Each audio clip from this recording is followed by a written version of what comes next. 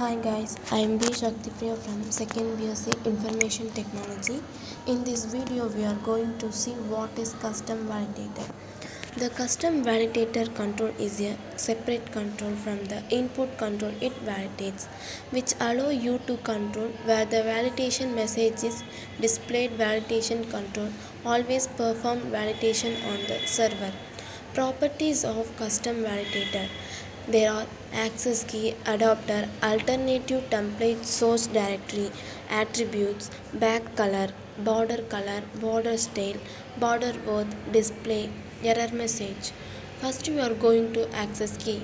Gets are set the access key that allow you to quickly navigate to the web server control. Adapter. Get the browser specific adapter for the control.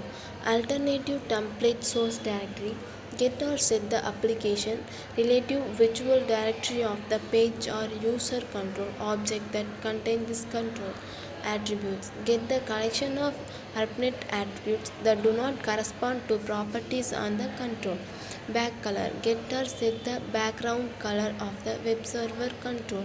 Border color. Get or set the border color of the web control. Border style get or set the border style of the web server control. Border worth gets or set the border worth of a web server control. Display. Gets or set the display behavior of the error message in the validation control. Error message. Get or set the text